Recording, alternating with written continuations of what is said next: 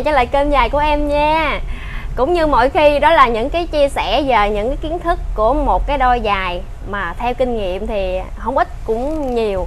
À, nói chung cũng được à, mấy năm à, theo cái kinh nghiệm mỗi ngày và à, khách vô hàng ngày em có thể à, tham khảo rồi em à, tìm hiểu rồi à, ngày em biết thêm chút chút chút để em chia sẻ cho cả nhà để cả nhà nhiều khi mình vướng mắc những cái vấn đề gì đó, có thể lên coi những cái video của em để mình có thể mình gỡ vướng mắc cái khó khăn của mình khi mình lựa chọn một đôi giày. Nên cả nhà nhớ subscribe kênh của em nha, để ủng hộ cho em nhỏ mỗi ngày làm mỗi cái video để chia sẻ những cái cách mà để mình khắc phục khi mình mang cái đôi giày như thế nào cho nó đẹp và cho nó sang cả nhà.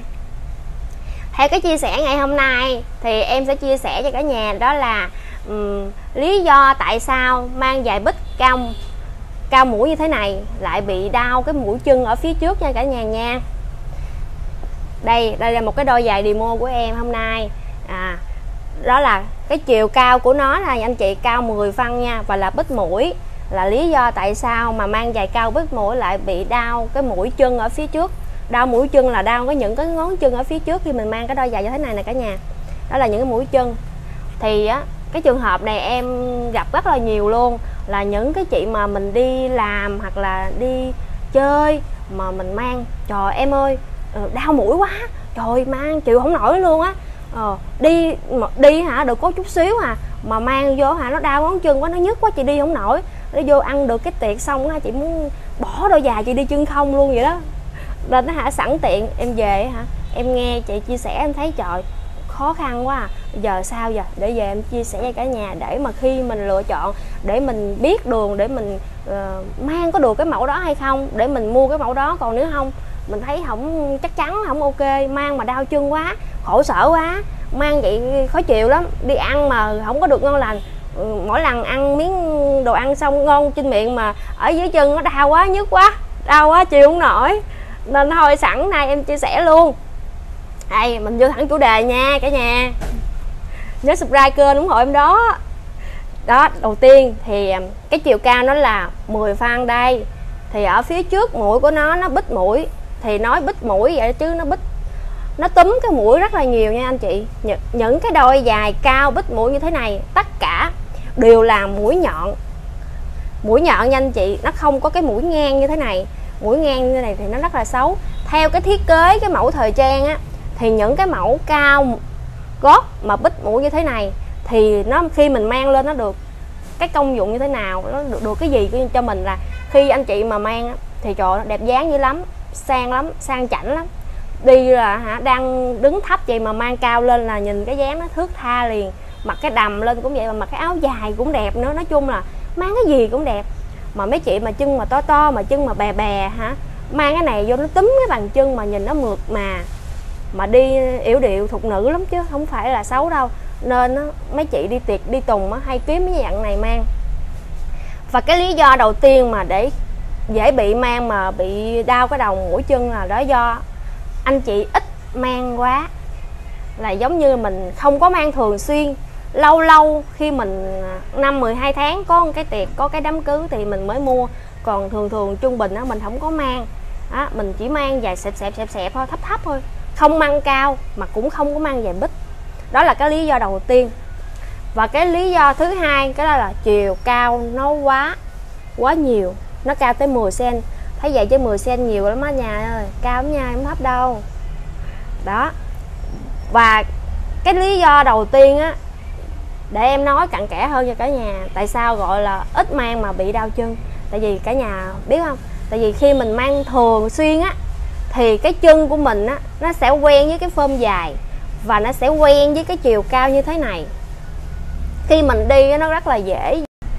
Vì cái phần cái trước mũi như thế này nè nó túm lại để nó ôm cái những cái ngón chân mình nên nó tạo được cái dáng đẹp cho mình. Nhưng mà nó trái ngược lại là được bị cái là khi mà mình nó nó nó nó, nó ôm quá thì cái những cái ngón chân của mình là nó sẽ bị túm lại nó túm lại như thế này nó chèn cái chân ngón chân mình lại nè. Ba bốn ngón chân nó chèn lại với nhau thì nó mới đúc được cái đôi giày. Thì khi mình mang đi thì cái lực cái trọng lực của nó từ cái gót chân á, nó dồn xuống cái mũi. Nên khi mà mình đứng lâu thì không sao nhưng mà khi mình đi nhiều á thì nó sẽ tạo cảm giác đau nhất cái mũi chân. Đau nhất cái mũi chân nên tạo cái cảm giác mình khó chịu khi mình mang. Nhưng mà lựa một cái đôi dài vừa ôm chân thì nó đẹp nhưng mà mình muốn mang thoải mái để nó không có bị đau mũi thì mình phải lấy rộng hơn một size. Thì lấy rộng hơn một size á, thì mấy chị đi lại rớt gót đi khó đi lắm mang cao gót gót là khỏi đi luôn. Đó. Nên á khi mà anh chị mà mình muốn mang những cái loại giày này thì nên chịu khó mang ôm chân chút xíu để nó khi mình mang á nó không có giật cái gót chân này ra là nó tuột á anh chị. Nó giật là nó tuột á nó gớt á. Khi mình đi vậy nó rất là khó mang và nếu mà muốn mang những đôi thế này thì anh chị nên chịu khó. Trước khi mình đi đám cưới, mình lựa khoảng tuần lễ đi. Mình về, mình đi tới, đi lui, mình đi ba, bốn lần, mình đi năm, sáu lần, bảy, tám lần. Mỗi lần đi 5 phút 3 phút 4 phút thôi. Đi từ từ cho cái chân mình nó quen với cái cỡ dài là từ từ mình sẽ đi được và sẽ không bị cái đau cái phần mũi này. Còn nếu anh chị hôm nay mua, ngày mai đi liền, thế nào cũng bị đau. Em đảm bảo chắc chắn luôn. Em đảm bảo chắc chắn với anh chị luôn là đau nhất khó chịu lắm còn à, cái lý à, do nào nữa không ta? À do cái độ cao độ cao độ cao nữa anh chị. Do mình đi không quen do mình mang thấp quen rồi mang ba phân năm phân mang sẹp sẹp quen rồi mang cao quá nó dốc xuống nó chuối mũi đau. Đó đó cũng là lý do luôn. Đó tại vì anh chị cứ tưởng tượng đi khi mình đi giống như mình đi bộ cũng vậy mình đi lại lại lại thì không sao. Khi mình đi nó dốc lên hoặc là những cái đèo những núi này cái nọ thì nó mình phải mệt chứ. Đó, mình phải mệt và mỗi chân nữa thì cái dài nó cũng như vậy. Khi mình mang mà cao quá thì mình cũng sẽ bị mỏi chân giống như vậy. Thôi, em chia sẻ tới đây thôi. Đó là cái lý do mà tại sao mang giày bích bị đau mũi. Thì anh chị, em khuyên anh chị là nếu mà mình muốn chọn những cái đôi giày như thế này thì hãy mua trước nó khoảng một tuần, hai tuần. Mình mang đi đi một lần, hai lần, ba lần, năm lần, sáu lần, bảy lần mỗi lần đi 1 phút 2 phút 3 phút thôi. Đi từ từ, đến khi mà đi tới đám cưới là mình đi là mình quen cái chân rồi, sẽ không còn bị đau chân nữa. Đó là những cái chia sẻ em về cái chủ đề, hôm nay mang về bích sao cho không có bị đau chân, cho nó quen cái chân mình đi. Nếu cả nhà yêu thương, có thể like, comment, cho em thêm ý kiến nha. Ý kiến để cho em mỗi ngày em làm video mới đó cả nhà. Và nhớ đăng ký kênh subscribe cho em nha. Em xin chào cả nhà.